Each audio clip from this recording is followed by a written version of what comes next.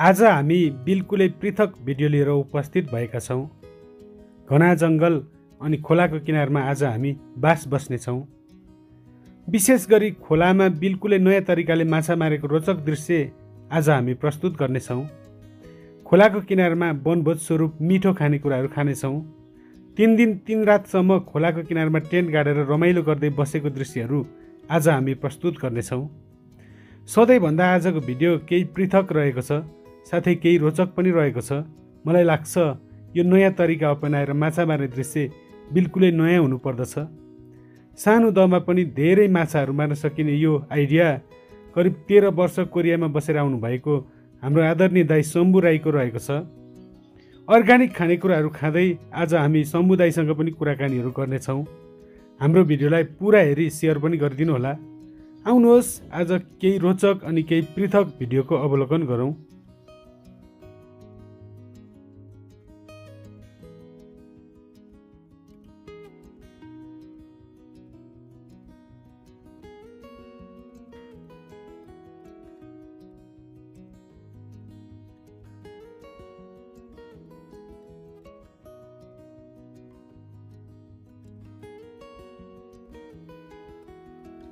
यो दृश्य खोटाङ जिल्लाको दिक्तेल रूपाकोट मजगढी नगरपालिका अन्तर्गत पर्ने छेपे खोलाको रहेको छ। छेपे खोला साबिकको दिक्तेल गाविस र निर्वा गाविसको सिमानामा पनि पर्दछ। आज हामी यही छेपे खोलामा दिक्तेलका साथीहरू र नेपाली साथीहरू मिलेर वनभोज खान तथा रमाइलो गर्न आएका छौँ। आज हामी विशेष गरी नयाँ तरिकाले कुनै जीव जन्तुलाई कुनै असर नगर्ने गरी बिल्कुलै अर्ग्यानिक तरिकाले माछा मारेको दृश्यहरू पनि प्रस्तुत गर्नेछौँ। हाम्रो भिडियोलाई अन्तिमसम्म हेरी एक लाइक अवश्य गरिदिनु होला। आउनुहोस् आज बिल्कुलै नयाँ तरिकाले माछा मारिएको दृश्य अवलोकन गरौँ।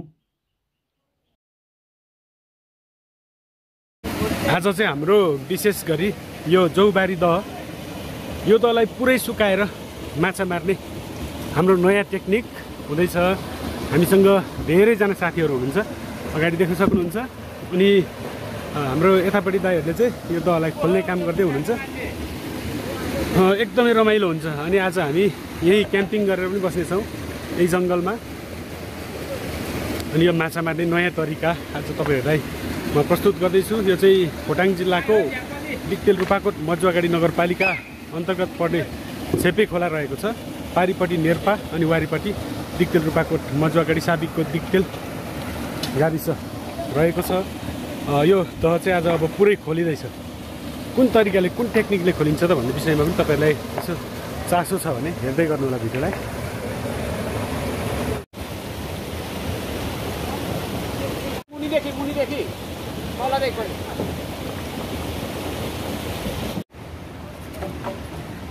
हाम्रो साथीहरू चाहिँ धमाधम काममा बिजी हुनुहुन्छ। अगाडि देख्न सक्नुहुन्छ तपाईँहरूले। दहलाई खोल्ने कार्यक्रम भइरहेको छ। अब यो दह चाहिँ कसरी पुरै सुक्छ त? तपाईँहरूलाई पनि यो विषयमा निकै कौतूहलता लागिरहेको होला। यो खोलेर मात्रै सुक्दैन यसको अर्को नयाँ टेक्निक छ। उक्त भिडियो पुरै हेर्नु होला। यो भिडियो त्यसपछि नयाँ टेक्निक नयाँ ट्रिक तपाईँहरूले पनि प्राप्त गर्न सक्नुहुनेछ।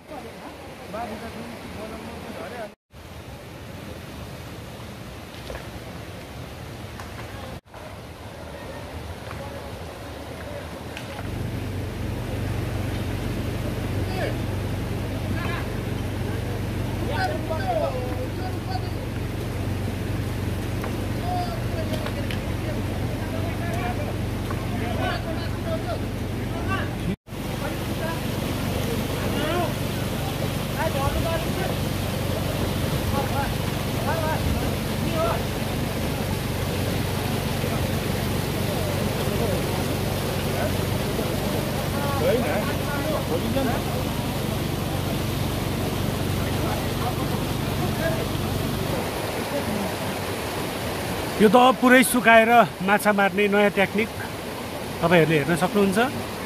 हाम्रो कार्यक्रम अब सुरु हुँदैछ। यहाँ बाँस टाँगिँदैछ। त्यसमाथि कसरी चाहिँ अब यो दह पुरै सुक्छ त भन्ने विषयमा तपाईँहरूलाई कौतूहलता लागिरहेको होला। भिडियो हेर्दै गर्नुहोस्। एकदमै नयाँ ट्रिक आज हामी तपाईँहरूलाई प्रयोग गरेर देखाउनेछौँ। करिब बिसदेखि पच्चिस केजीसम्म माछा मर्छ यो दहमा। अनुमानित कति हुन्छ सबै दृश्य म तपाईँहरूलाई देखाउनेछु। भिडियोलाई हेर्दै गर्नुहोला।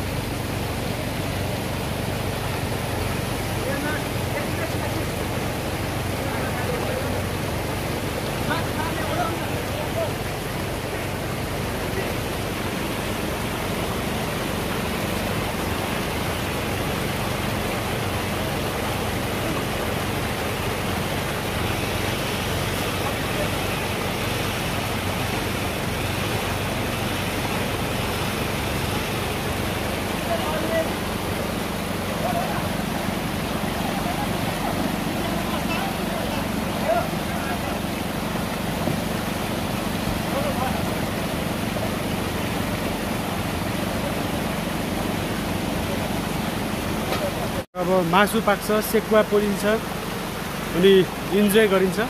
आज हाम्रो क्याम्पिङ यहीँ हुनेछ यहीँ बसिन्छ आज रातभरि।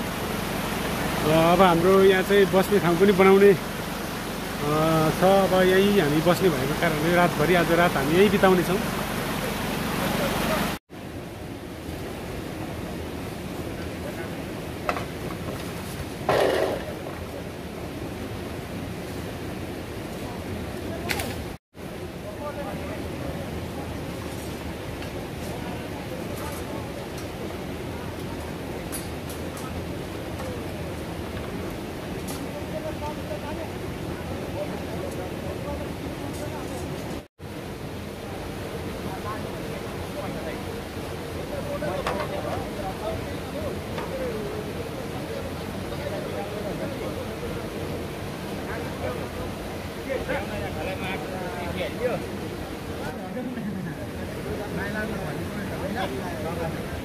दर्शकवृन्द यतिखेर हाम्रो साथमा हुनुहुन्छ हाम्रो आदरणीय दाई शम्भु राई।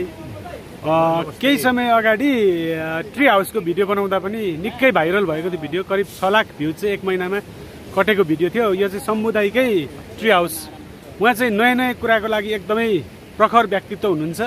अनि दस वर्षसम्म कोरियामा बसेर आउनुभएको। कोरिया जस्तो राष्ट्रमा दस वर्षसम्म बिताएर आउनुभएको। दाई उहाँको टेक्निकहरू निकै अलग छ निकै पृथक छ। दाई नमस्कार हजुरलाई। नमस्ते। अनि के छ आज हामी यो खोलामा घना जङ्गलको बिचमा माछा मार्न भनेर आएको छौँ। विशेष गरी यो प्लान तपाईँको छ। हजुर। अनि यति सानो खोलामा कति माछा पर्ला त? एक्ज्याक्टली यो फेरि तपाईँलाई नमस्ते दर्शकविदहरू अ, यो कहिले काहीँ इन्टरटेन गर्ने एउटा होइन गाउँमा काम गर्दा गर्दै कहिले खोलामा यसो पौडी खेल्ने कहिले काहीँ माछा मार्ने त्यही सिलसिलामा आज फेरि हामी घर गाउँले दाजुभाइहरू आइरहेछौँ। लगायत मनोज भाइ। कस्तो छ भने हाम्रो सानो खोलाहरू हुन्।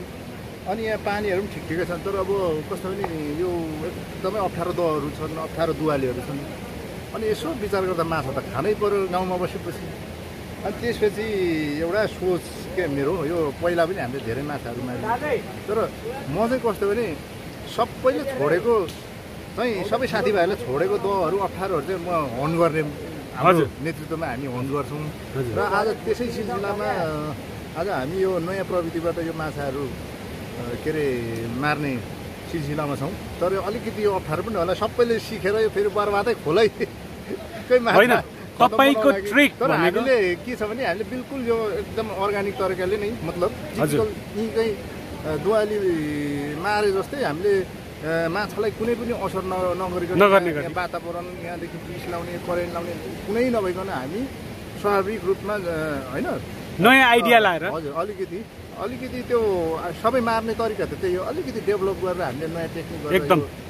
माछा मार्ने प्रविधि गरिरहेछौँ। तपाईँहरूले पनि देख्न सक्नुहुन्छ आजको माछा मार्ने ट्रिक निकै पृथक छ। यो ट्रिक चाहिँ तपाईँहरूले अपनाउनु भयो भने चाहिँ अब धेरै तपाईँहरूलाई पनि फाइदा पुग्नेछ। आज हाम्रो शम्भु दाईले चाहिँ यो राज खोलिदिनु भएको छ। यो ट्रिक चाहिँ तपाईँहरूलाई हामीले प्रस्तुत गरेका छौँ पक्कै पनि होइन? अनि। यस विषयमा म एउटा कुरा के भन्छु भने अहिले नेपालमा कानुनी रूपमा बन्देज गरिएको छ करेन्ट लाएर माछा मार्न। तर पनि मान्छेहरूले लुकी छिपी होइन राति साँझतिर करेन्ट लाएर माछा मारिरहेछन् होइन? तर तपाईँको ट्रिक अपनायो भने करेन्ट लाउनै पर्दैन। बुर्रा माछाहरू मर्दैनन् होइन? अनि यो विषयमा यो करेन्ट लाएको विषयमा चाहिँ तपाईँ के भन्नुहुन्छ अलिकति बिल्कुल अपराध हो किनभने यसले त पुरै खोला नै अब जस्तो एउटा दहको पुरै नै त्यो नस्लै नै एउटा दहमा तर सकिदिन्छ। सकिदिन्छ। त्यो हुनाले त्यो त एकदम अपराध त्यो माछाको अन्डादेखि लिएर सबै कुरा समाप्त हुन्छ भनेपछि अनि त्यो प्यारालाइसिस भएको पनि मैले किनभने पुच्छरहरू बाङ्गो भएको माछाहरू कति गरी मैले। गर्दा त्यो पनि देखेको छु।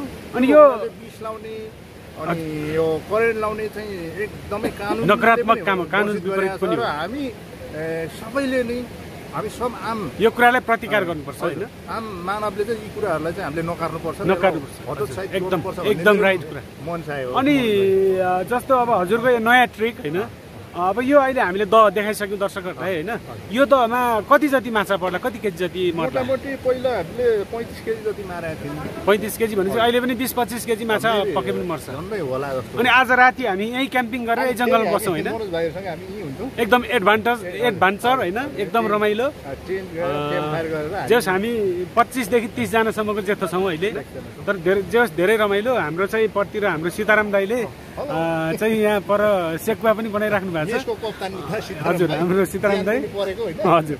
फेरि उहाँ चाहिँ अब सेकुवा हाउसको चाहिँ मालिक पनि हुनुहुन्छ। जो तपाईँले जानकारी गरिदिनु भयो हाम्रो दर्शकहरूलाई जानकारी गराइदिनु भयो त्यसको लागि तपाईँलाई धेरै धेरै धन्यवाद छ है। धन्यवाद तपाईँहरू इन्जोय गर्नु होला हामी यो भिडियो पक्कै मनोज भाइले हजुर। युट्युबमा आउँछ हाम्रो भिडियो होइन? अब धेरै रुचाउनुहुन्छ। विशेष गरी नेर्पा ठाउँ चाहिँ के हो के हो होइन? मैले जति पनि नेर्पाको भिडियोहरू अपलोड गरेको छु सबै भिडियोहरू भाइरलै भएका छन्। अनि आजको भिडियो पनि पक्कै पनि दर्शकहरूले सेयर गरिदिनुहुन्छ भन्ने आशामा छु। अझै हामी यहाँको नयाँ ट्रिक देखाउनै बाँकी छ हाम्रो दर्शकहरूलाई। मलाई एउटा कुरा भन्न मन लाग्यो। हजुर। जस्तो हामी यो कहिले काहीँ वर्षमा एक दुईचोटि होइन फिसिङ गर्छौँ पौडी खेल्छौँ त्यसै सिलसिला आएको हो तर हाम्रो पक्का यो व्यवसाय होइन। कहिले काहीँ एक दुईवटा दहहरू मात्रै हामीले रमाइलोको लागि। सीमित रूपमा रमाइलोको लागि होइन अलिकति जङ्गलमा अस्ति तपाईँहरूले खिचे जस्तै अस्ति हेरे जस्तै ट्री हाउस जस्तै। यसमा कुनै पनि जस यहाँको वन्यजन्तुदेखि लिएर माछादेखि लिएर कुनैलाई पनि असर असर छैन, impression हामीले- छैन। हजुर। त्यो वातावरणलाई तलमाथि गर्ने गरी गरेको छैन। करेन्ट लाएर होइन विष लाएर त्यो होइन बिल्कुल छैन। तपाईँहरूले हेर्नु एकदमै अर्ग्यानिक तरिका छ एकदमै। अर्ग्यानिक ट्रिक छ करेन्ट लाएर मार्न त नेपालमा हामी प्रतिबन्ध पनि छ। छुट्याउँछौँ। के छ भने ठुल्ठुलो माछा चाहिँ हामी पनि हन गर्छ त्यो सानो माछालाई चाहिँ छोडिदिन्छौँ। छोडिदिन्छौँ। एकदम।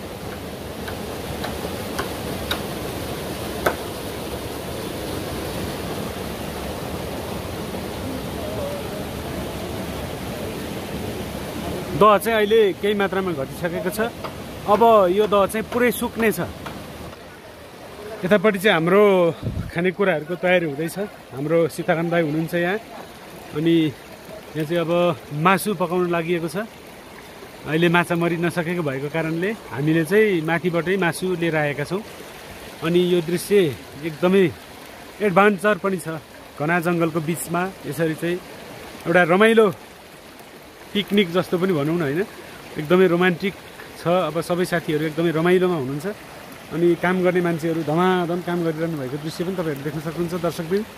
अब माटो बोक्ने काम पनि सुरु हुन लागिरहेको छ। यहाँ चाहिँ हाम्रो साथीहरू माटो बोक्नको लागि होइन एकदम तयार हुनुहुन्छ होइन? ल ठिक छ ठिक छ ओके।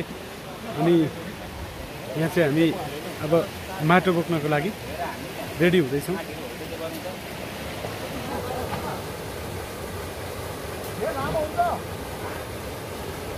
हाम्रो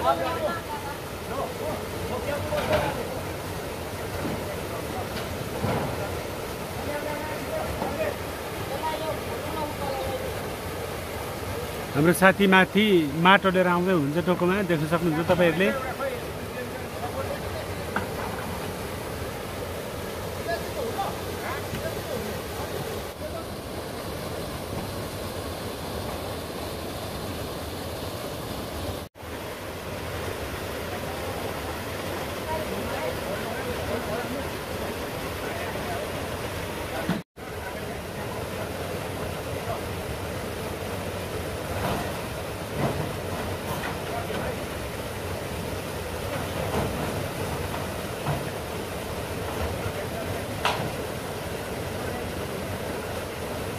द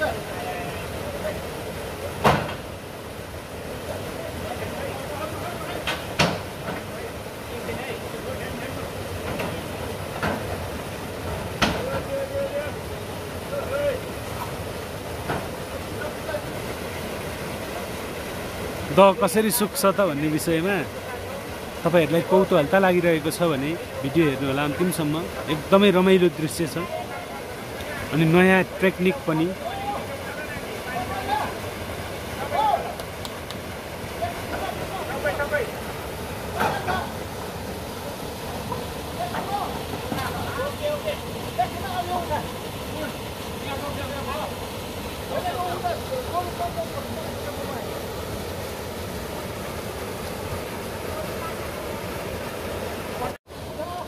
यतापट्टि चाहिँ तारलाई तन्काउने कार्यक्रम धमाधम भइरहेको छ।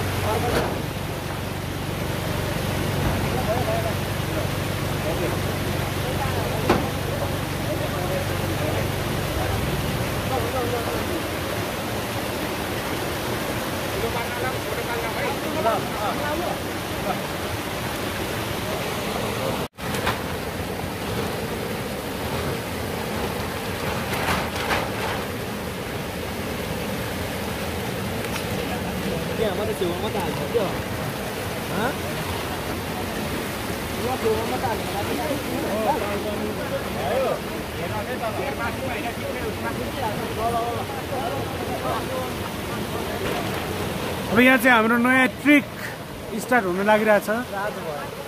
जादु नै हुन लागिरहेको अवस्था छ। पानी कसरी सुक्छ त यो दहको भन्ने विषयमा तपाईँहरूलाई कौतूहलता लागिरहेको होला दर्शकवृन्द। हेर्नु होला अब यो दह पुरै सुक्ने छ केही क्षणपछि। अनि त्यहाँबाट हामी माछा कसरी मार्छौँ भन्ने विषयमा चाहिँ अब तपाईँहरूले हेर्नु होला एकदमै रोमान्टिक दृश्य छ। यो चाहिँ एउटा नयाँ प्रयोग बिल्कुलै नयाँ प्रयोग मैले देखे अनुसार चाहिँ। अब तपाईँहरू देख्नु भएको थियो भने कमेन्ट गरेर बताइदिनु होला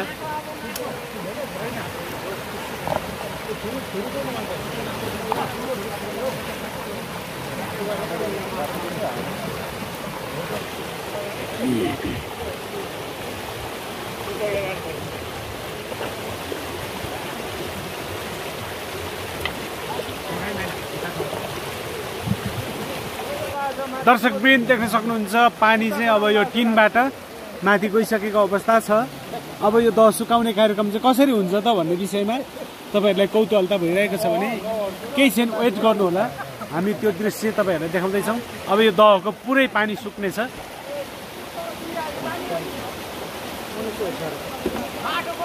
अब यहाँ नाला बिछ्याउने कार्यक्रम भइरहेको छ। दहको पानी सुकाउनुको लागि चाहिँ के क्वेसन भाइ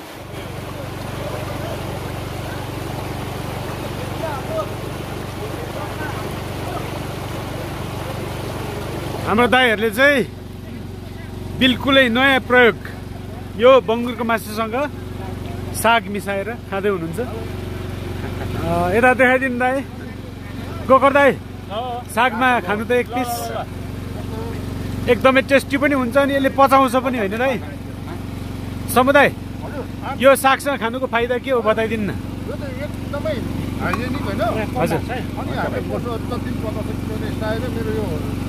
यो सागसँग यस्तो त्यो एसिडहरू होला हजुर। जस्तो खायो भने कहिले पेट चाहिँ दुख्ने हौ। हो यो भनेको चाहिँ अर्ग्यानिक खानेकुरा हो। सागसँग खाएपछि झन् पचाइन्छ होइन। Okay okay. Thank you thank you दाइ त्यस्तो ज्यान पनि लाग्दैन हाम्रो। यहाँ सीताराम दाईको जस्तो भुँडी लाग्दैन होइन त।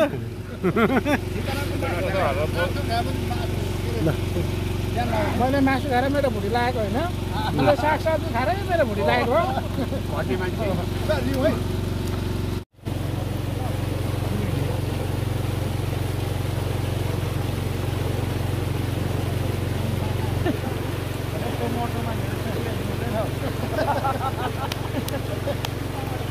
माछा आयो है हाम्रो सासुभाइले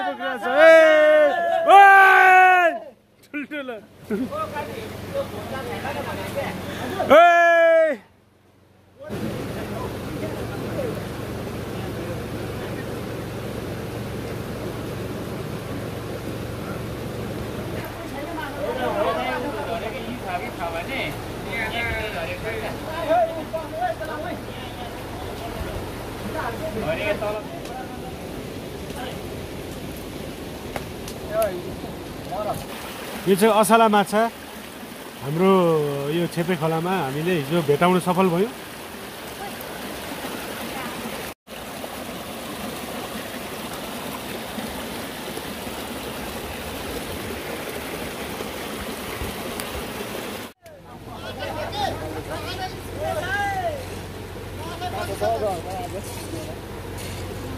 सीताराम फेरि यस्तो फुर्सी छ हाम्रो चाहिँ भात पाकिरहेको छ जङ्गलमा खोलाको किनारमा। खोला देख्न सक्नुहुन्छ तपाईँहरूले अनि यहाँ चाहिँ भात पकाएर यहीँ बस्ने यहीँ खाने भन्ने हाम्रो प्लान भइरहेछ।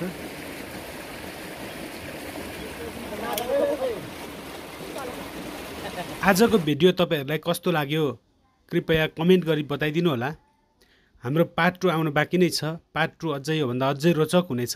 त्यसैले पार्ट टू पनि हेरिदिनु होला भन्दै आजको लागि भिडियो पुरा हेरिदिनु भएकोमा धेरै धन्यवाद दिँदै बिदा हुन चाहन्छु। हस्त नमस्कार।